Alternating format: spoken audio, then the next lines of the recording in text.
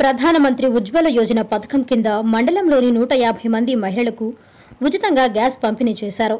ఈ సందర్భంగా శనివారం పట్టణంలో ఏర్పాటు చేసిన కార్యక్రమంలో మండల బీజేపీ నాయకులు మహిళలకు అందజేశారు.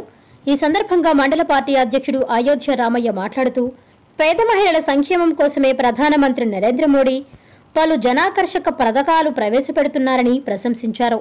ఈ సందర్భంగా మండలంలోని పార్లపల్లి పీజీపట్నం అయ్యంగారిపల్లి గ్రామాలకు చెందిన మహిళలు పాల్గొన్నారు.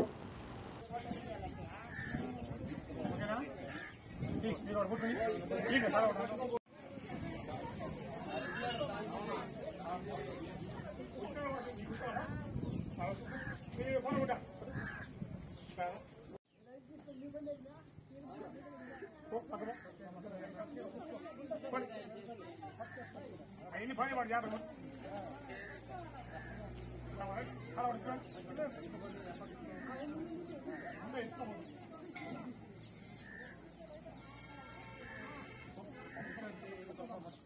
ఈ వీడియో మీకు నచ్చినట్లయితే please subscribe share and like ఇవ్వండి. Star Nine Live.